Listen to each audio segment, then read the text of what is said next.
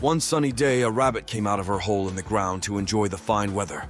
The day was so nice that she became careless, and a fox snuck up behind her and caught her. I am going to eat you for lunch, said the fox. Wait, replied the rabbit. You should at least wait a few days. Oh, yeah? Why should I wait? Well, I'm just finishing my dissertation on the superiority of rabbits over foxes and wolves. Are you crazy? I should eat you right now. Everybody knows that a fox will always win over a rabbit. Not really, not according to my research. If you like, you can come into my hole and read it for yourself. If you are not convinced, you can go ahead and have me for lunch. You really are crazy.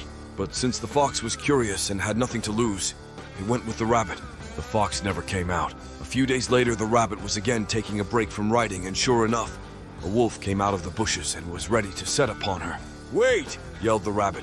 You can't eat me right now! Why might that be, my furry appetizer? I'm almost finished writing my dissertation on the superiority of rabbits over foxes and wolves. The wolf laughed so hard that it almost lost its grip on the rabbit. Maybe I shouldn't eat you, you really are sick. In the head, you might have something contagious. Come and read it for yourself. You can eat me afterward if you disagree with my conclusions. So the wolf went down into the rabbit's hole. Never came out. The rabbit finished her thesis and was out celebrating in the local lettuce patch. Another rabbit came along and asked, What's up? You seem very happy. Yep, I just finished my dissertation. Congratulations. What's it about? The superiority of rabbits over foxes and wolves. Are you sure? Doesn't sound right. Oh, yes.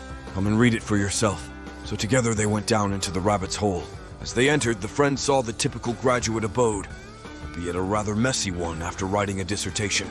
The computer with the controversial work was in one corner, and to the right there was a pile of fox bones, on the left a pile of wolf bones, and in the middle was a large, well-fed lion. The moral of the story. The title of your dissertation doesn't matter.